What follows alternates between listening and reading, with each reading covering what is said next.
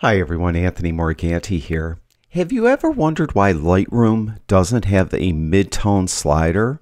To adjust the tone in Lightroom, you have six different sliders, exposure, contrast, highlights, shadows, whites, and blacks. And with those six sliders, you usually could get a pretty good edit. For this image, I really only adjusted four of those sliders, and it looks okay, but this image does have a lot of mid-tone in it, and I'm thinking if I could adjust the midtones exclusive of the highlights and shadows, that I could probably make this image pop a little bit more. Now, I of course could go down to the tone curve and adjust midtones here, but with the tone curve, it's a little more difficult to use, and you may not get as precise an adjustment as you'd like with the tone curve.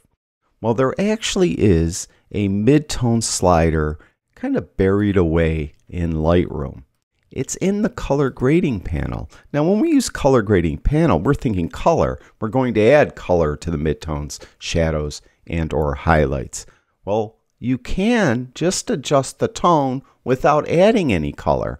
I'm going to go to the actual midtones color grading circle. I'm not even going to touch it. I'm not going to add any color to the midtones. I'm just going to jump right down here to the luminance slider. Watch, Move this to the right.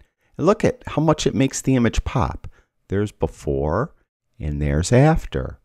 It really is a tool that will help you on some of your images.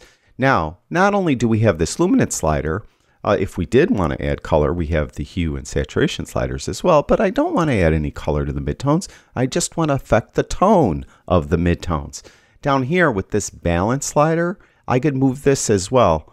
If I move it to the right, it will put this luminance adjustment more towards the shadows. If I move it to left, it will put it more towards the highlights. In this case, I think I liked it right in the middle. That looked great right there. So midtones, there is this slider. It's called luminance and it's in the color grading panel. Let's do another one. I have this black and white image. Now there's no color here at all. So this is just tone. Go to that luminance slider I'll move it to the right. I want to make that the lake a little brighter. And look, it worked perfectly and it didn't really affect the shadows at all or anything like that. Finally, let's do one more. I have this image here. And it's an okay kind of spooky image. And I adjusted the highlight shadows, whites and blacks as good as possible, but it's still missing something. It's missing that little extra pop. I'll go to color grading. I'll again, again go to the midtones and I'll go to this luminance slider, move it to the right in this case. And it looks a lot better in my opinion. Gives it that little extra pop. Now, I just want to mention that I didn't stumble upon this all by myself. I actually had someone email me and they told me that they often adjust the tone of their images with color grading. They don't add any color at all, no hue, no saturation, and they go to all three uh, shadows, midtones, and highlights, and they move the luminance slider to affect the tone on their images. They think they get a more precise adjustment doing it that way. Um, and along with maybe doing the highlight shadows, whites, and blacks up here in the basic panel. So he emailed me and told me about this, and I thought that was pretty interesting. And I'd experiment with it, and I find he emailed me months ago, and I finally had time to mess with it. And at least for me, I found adjusting midtones, um, the luminance slider in midtones works best for my images. But I encourage you, oops, I encourage you to um, try it out for yourself.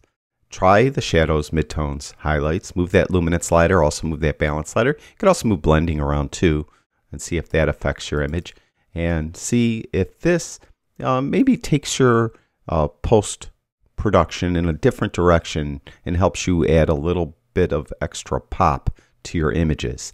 Thank you, everyone who watches my videos. I really do appreciate it. I'll talk to you guys soon.